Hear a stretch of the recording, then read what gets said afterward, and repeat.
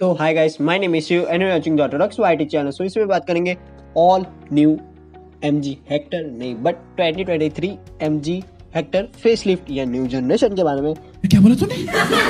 So start करते हैं video को और आपको बताएँगे अनविलिंग डेट कब है फीचर्स क्या ऐड हुए, क्या सेफ्टी ऐड हुई है सब की बात हम करने वाले हैं इसी वीडियो में। सो वीडियो को आखिर तक देखते रहना और स्टार्ट करते हैं फ्रंट लुक से। सो आप देख सकते हो डायमंड मैश ग्रिल आपको देखने मिल जाएगी। एमजी का बड़ा लोगो हो चुका है, जिसके नीचे आपको फ्रंट पैकिंग सेंसर्स देखने मिल जाएँगे कैमरा देखने मिल जाएगा। रडार आने वाला है, जो कि न्यू बम्पर जो है, वो भी अब रिवाइज हो चुका है। उसके अंदर ही आपको रडार भी देखने मिल जाएगा फॉर एडास टेक्नोलॉजी जो कि कार में इंट्रोड्यूस होने वाली है। और ओवरऑल लुक्स की बात करें तो कार दिखने में बहुत ही खूबसूरत लगती है और एक अच्छी खासी कार लगती है और ऑलरेडी एसयूवी तो लगती ही है। एंड अगर आप लुक्स की बात करें तो मुझे अच्छी लगती है कार दिखने में तो।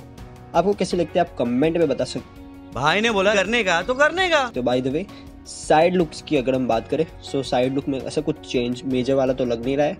ऑब्वियसली एलॉयस आपको सेम देखने मिल जाएँगे जो कि अभी करंटली एम जी में चल रहे हैं 18 इंच वाले डायमंड कट बाकी ओवरऑल साइड लुक से ऐसे कुछ दिख नहीं रहा है रूफ रेल्स भी आपको सेम दिखने मिल जाएँगे विंग बीडर्स भी आपको सेम दिखने मिल जाएँगे, और ऐसे बॉडी क्लैडिंग तो आपको देखने मिलती है एम जी हेक्टर में।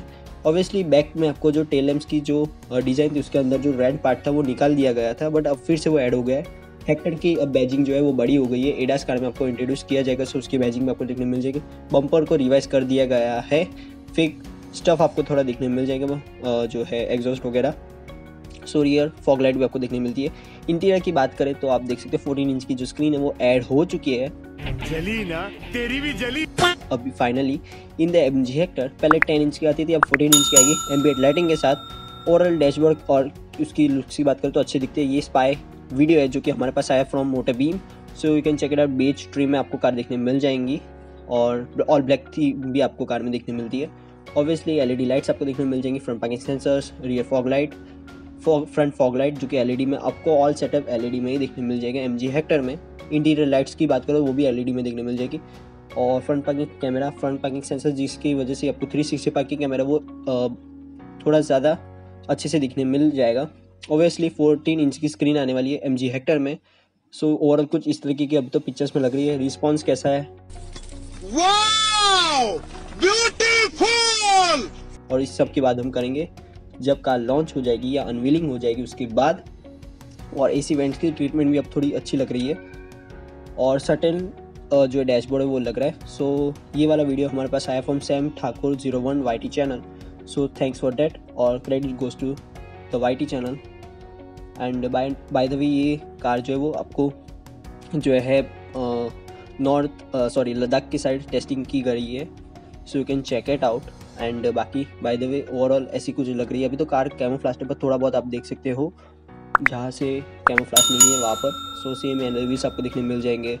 डोर हैंडल्स भी सेम है लाइट्स भी सेम लग रही है। सो चेंज सिर्फ़ डायमंड मैश ग्रिल में और थोड़ा सा जो है वो नीचे बम्पर वगैरह में चेंजेस है। ऐसा कुछ ज़्यादा मेजर वाला चेंज नहीं है। डायमेंशंस में ऐसा कुछ ज़्यादा चेंज लग भी नहीं रहा है। And by the way car को बहुत सारी टाइम टेस्टिंग भी दिखा गया है। और पार्किंग वगैरह में भी कार खड़ी रहती है। और नॉर्थ ईस्ट के साइड देन हमारे हालोल के साइड भी इसकी टेस्टिंग होती रहती है। सो ऑब्वियसली प्लांट उधर है हालोल में सो उसकी टेस्टिंग तो आजू बाजू होती ही रहेगी प्लांट के। सो इसके लिए जी जी सेवनटीन लिखा, आप देख सकते हो जो नंबर प्लेट पे लिखा हुआ है, और ये ऑब्वियसली टेस्टिंग कार है सो रेड में होने वाली है। और ये आप देख सकते हो जो पार्किंग में खड़ी हुई है कार, और बाय द वे साइड में ऐसे कुछ डायमेंशंस में डिफरेंस तो लग नहीं रहा है। और बाय द वे अगर हम बात करें सो इसकी जो बैक में है, उसमें थोड़ा ज़्यादा चेंज आपको देखने मिल सकता है।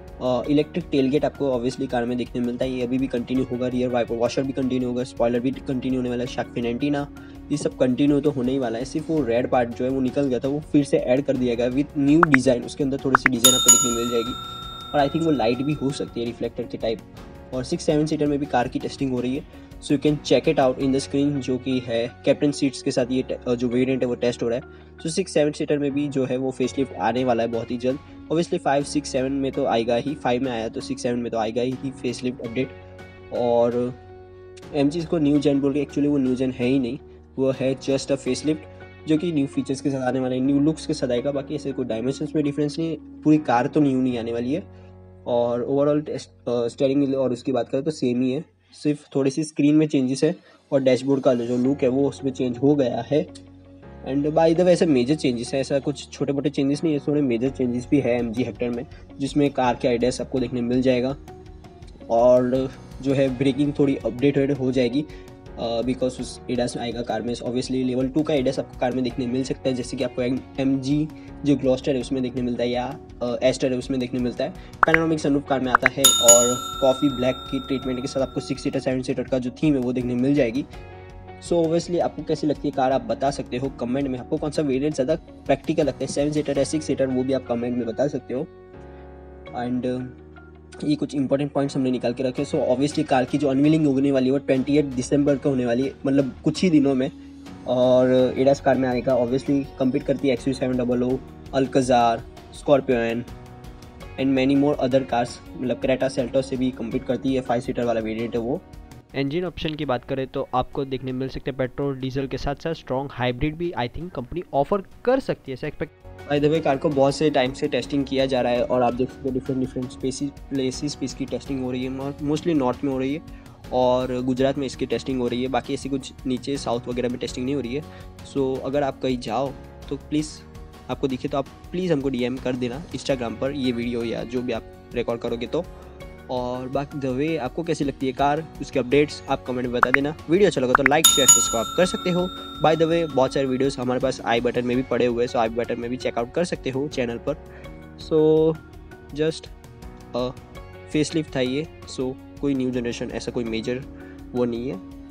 So follow in Instagram for more updates and news Instagram Facebook वगैरह पे आप जाके फॉलो वॉलो कर सकते हो। सब्सक्राइब कर देना अगर आपको वीडियो अच्छा लगा और चैनल पे बहुत सारे वीडियोस बहुत ही जल्द आने वाले so stay tune and stay updated so मिलते हैं और न्यू वीडियो के साथ, तब तक ले bye bye have a nice day